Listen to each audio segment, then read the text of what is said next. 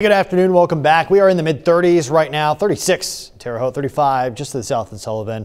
And don't expect a major warm up from here on out. At the highest, temperatures are going to be right along the 40 degree line, maybe lower 40s farther to the south where you see a little bit of sunlight first. You can see where the sky is starting to clear. Temperatures are already almost there, but again, this is not that much higher than uh, where we've been all morning. So it's not going to warm up. It's not going to feel that much more comfortable outside. But you know what? That direct sunlight sometimes does just make a more comfortable situation.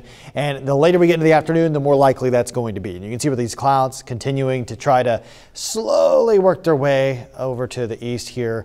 And as they're doing so, you can see again the clear skies taking over to the southwest. Newton, Olney, Flora, and Illinois, Effingham. Uh, you're going to see some uh, sunlight, if you're not already, uh, much quicker than everywhere else. And that that means temperatures might be higher by the end of the afternoon in those areas, but not much. Like I said, lower 40s.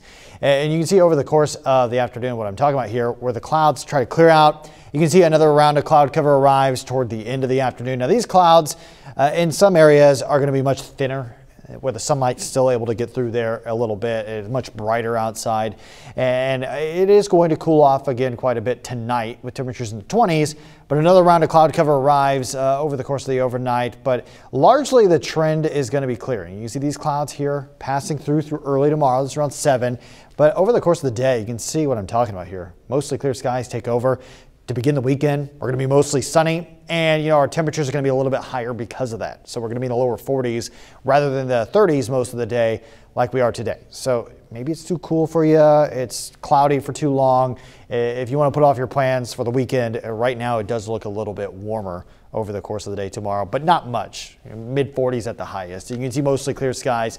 Uh, and the later we get into the night, uh, we are going to see a little bit more of a chance of some light sprinkles, maybe minor rain showers, maybe even a few snowflakes through early Sunday morning.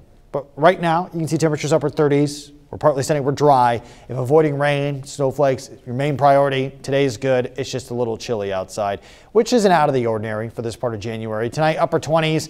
Again, temperatures are starting to consistently drop to a more normal level over the course of several of these nights. You know, we've seen temperatures closer to 50 for overnight lows, especially earlier this week. We're starting to see temperatures where they normally are in the winter, lower 40s tomorrow. Again, temperatures a little bit higher because of mostly sunny skies, a very minor chance of rain later in the day, but you can see where that continues into early Sunday. But look at these temperatures. Mid 40s over the course of several of these nights, below the freezing line at 32 degrees. Several of these nights, you can see are at 34 Monday night into Tuesday morning. But again, very normal January weather, and we haven't seen that in some time, and it's here to stay for a little bit longer.